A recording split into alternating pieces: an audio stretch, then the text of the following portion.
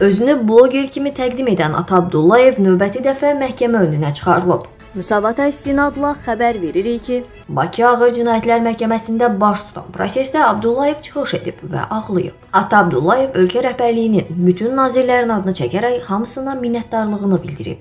Prosesin davamında prokuror ittiham aktını elan edib. İttihamda deyilir ki, Ata Abdullayev Gənclər və İdman Nazirliyinin tabeliyində Avropa oyunları və Formula 1 yarışı ilə bağlı əməliyyat komitəsində çalışan Elmar Əliyevə zəng edərək onun barəsində rüsvayedici məlumat yayacağını deyib. Ondan 10 min manat tələb edib. Amma sonda iPhone 11 Pro Max telefonu alıb.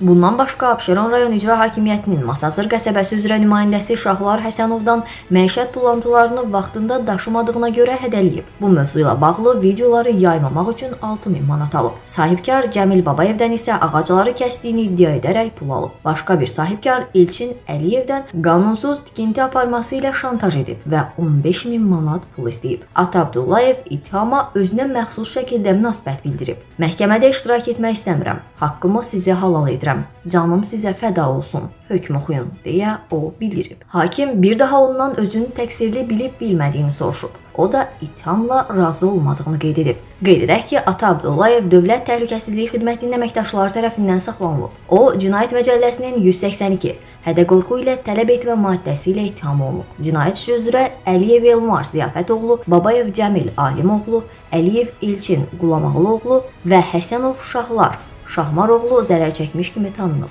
Abdullayevin bu şəxslərdən şantaj yolu ilə pul tələb etdiyi bildirilir.